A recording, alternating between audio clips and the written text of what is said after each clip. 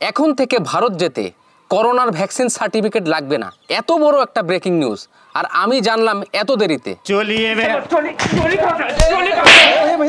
আপনারা জানেন যে করোনা সংক্রমণ যখন প্রথমে এসেছিল তখন কিন্তু বিশ্বের মধ্যে একটা রেস্ট্রিকশন দিয়েছিল যে যে দেশেই আপনি যান না কেন আর্টিফিসিয়াল টেস্ট করে। তারপরে যখন ভ্যাকসিন আসলো ধারাবাহিকভাবে তখন বিদেশ ভ্রমণের ক্ষেত্রে ভ্যাকসিন সার্টিফিকেট চেত।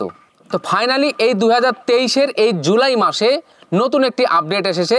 এটা আমার কথা না। এই যে দেখেন বাংলা টিউব ডট কম, এখানে কিন্তু দেওয়া আছে, ভালো করে দেখে নেন। এখানে বলা আছে যে এখন থেকে ভারত যেতে হলে আপনার কোনো ধরনের করোনার ভ্যাকসিন সার্টিফিকেটের প্রয়োজন নাই।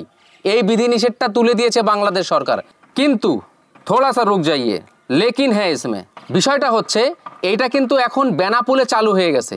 শুধুমাত্র বেনাপুলে কিন্তু এখন চালু হয়ে গেছে। বেনাপুল দিয়ে যদি আপনি যান, তাহলে আপনার ভ্যাকসিন সার্টিফিকেট লাগবে না। কিন্তু অন্য সকল বর্ডারে কিন্তু এখনও চালু হয়নি। কেন চালু হয়নি? কারণ বাংলাদেশের স্বাস্থ্য অধিদপ্তর থেকে এখনও চিঠি ওই সব স্থল বন্দরে পৌঁছায়নি।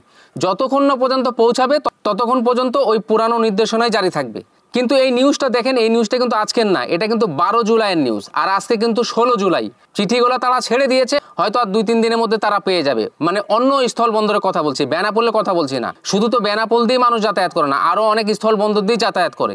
তো অন্য সকল স্থল বন্দরে যখন চিঠি পৌঁছাবে, তখন থেকে কার্যকর হবে। কি কার্যকর হবে? শুধুমাত্র পাসপোর্ট, ভিসা থাকলেই আপনারা ভারতে যাতায়াত করতে পারবেন। কোনো রকম করোনার ভ্যাকসিন সার্টিফিকেট লাগবে না। না সিঙ্গেল ডোজ সার্টিফিকেট, না ডাবল ডোজ সার্টিফিকেট, না ত্রিপল ডোজ সার্টিফিকেট, না চতুর্থ ডোজ সার্টিফিকেট। কোনো সার্টিফিকেট নাই। কারণ পৃথিবীতে এখন করোনা শেষ। তাই এই বিধিনিষেধটা সরাই ফেলাইছে। তো এটা কিন্তু বাংলাদেশের স্বাস্থ্য অধিদপ্তর থেকে এই নিউজটা জানাইছে। কিন্তু ভারতের কোনো স্বাস্থ্য অধিদপ্তর থেকে এরকম কোনো নির্দেশনা পাইনি বা এখনও আমি দেখতে পারিনি। থোড়া সা রুক যাইয়ে, আমি জানে সে পেলে এক ইম্পর্টেন্ট বাত শুনিয়ে। আমি কিন্তু একটা ট্রাভেল ব্লগ ইউটিউব চ্যানেল চালাই, আর সেটার নাম হলো নোমাডিক ফয়সাল ব্লগ সেই চ্যানেলে এখন কাশ্মীর সিরিজ চলতেছে, এরপরে দিল্লি সিরিজ শুরু হবে। আর আমি কিন্তু একা ট্রাভেল করি না, আমি কিন্তু গ্রুপ ট্যুর করি। গ্রুপ ট্যুরটা আবার কি? আমি যখন ট্রাভেল করি ট্রাভেল করার আগে আমার এই ইউটিউব চ্যানেলে আপডেট দিয়ে দিই, আমরা অমুক তারিখে যাব সো এখন আমাদের টিকিট কাটতে হবে। সবাই টিকিটের টাকা দিয়ে দিলে টিকিট কেটে নেই প্ল্যান আমরা সুন্দরভাবে সাজাই এবং নির্ধারিত সময় আমরা ট্রাভেল করি। আর ওই সময় আমি ব্লগ বানাই ফেলাই, আর সেই ব্লগটা আমি আমার নোমাডিক ফয়সাল ব্লগ ইউটিউব চ্যানেলে আপলোড করি। তার পাশাপাশি nomadic Faisal blog Facebook page আছে, সেখানেও আমি ওই ব্লগগুলি আপলোড করি। আপনারা ব্লগ পছন্দ করলে আমার ওই নোমাডিক ফয়সাল ব্লগ চ্যানেলটি সাবস্ক্রাইব করবেন। এবং নোমাডিক ফ্যাসাল ব্লগের ফেসবুক পেজ থেকে ভিডিও দেখে একটু শেয়ার করে আমাকে উপকার করবেন।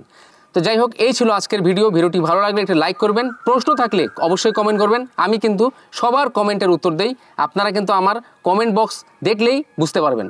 আজকের ভিডিওটি এখানে শেষ করছি। দেখা হবে নেক্সট ভিডিওতে সে পর্যন্ত সবাই ভালো থাকবেন।